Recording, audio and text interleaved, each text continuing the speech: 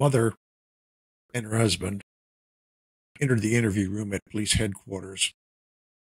The mother handed me a photograph which depicted her daughter, then four years old, having a sex act committed upon her by an adult male.